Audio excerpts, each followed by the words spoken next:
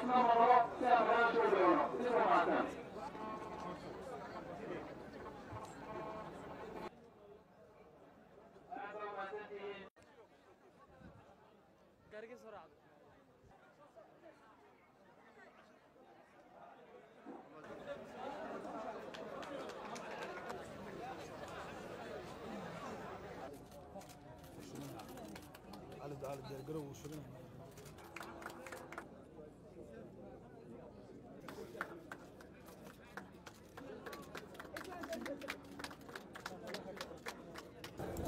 nasiib darro oo weli guulaysan dhibaatada in la damiyo maahae in la daweeyo.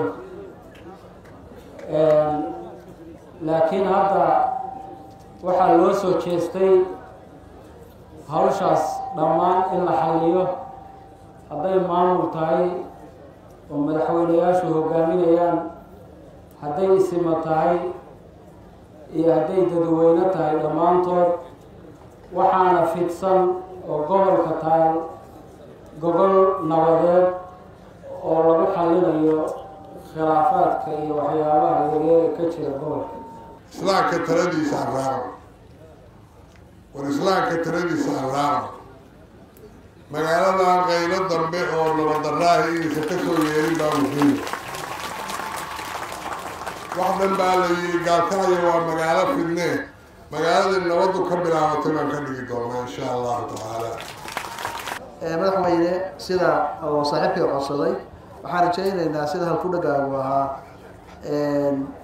aadna in badan aan ka wada hadalnay si gaara inaad ahamiyadda siiso dib heshiisiinta inaad ahamiyadda siiso midnimada dabcan markii dadku heshiiyaan midoobaan wax badan oo hadda ina kaga maqan oo dowladnimadeena naaqus ka dhigtay ayaa dhammaystirmaya marka si aad u qaadatay barnaamijkaas isaga ah ayaan anaguna kugu garab istaagaynaa kugula shaqaynaynaa labada dowlad goboleed xildhibaanadooda iyo golahooda wasiirada marti sharafta kale kulligiin waxaan ku salaamay asalaamu calaykum waraxmat ullaahi wabarakaatu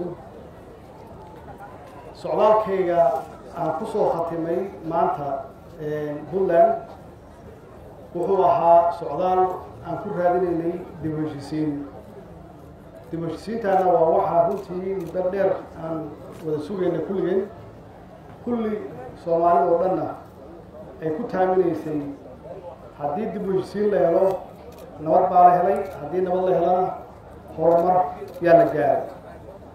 Marka meesha keliyaan odhan karo inay tahay inaan ka bilaabno dib heshisiinta waxay igu muuqatay inay tahay magaaladan gaalkacay.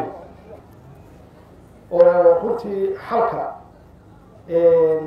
in laga bilaabo mudan meel la yihahdo check point check pointiyada laga soo gala magaalada meel waxaa jirta la yidhaahdo caano ka dhan. Xabadaa lasu haystaa. Marka caano maahee xabad baa taalla. Marka nawaaxigaas dadka degan waa ka waa ka guuren eriyada maxaa yeelay meesha caano ma yaalaan dhibkaas wuxuu gaaray dadka inuu shaki kala geliyo iyo baqdin iyo walwal. Waxyaabaha u diiday magaalada horumarkeedana taas weeye. Maxaa yeelay qofkii maalgashi samayn lahaa markuu maqlo caano caano ka dhan wixiise dib buu la noqonaya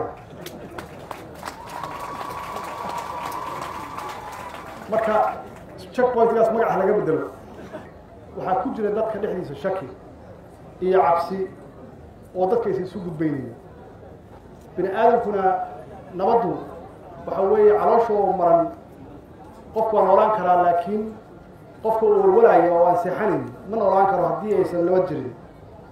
Sidaas darteed waxaan rabnaa inaan dhammaystirno isagoo islaamku uu horseed noo yahay hormood noo yahay salaadiinta kale oo la shaqeynayaan culamaa udiinka iyo siyaasiyiinta labada dhinacba in magaaladan ay noqoto magaalo rugti ganacsiga ee gobollada dhexe ah oo ganacsigii iyo maalgashigii u yimaado dhalinyaradu ay shaqo ka helaan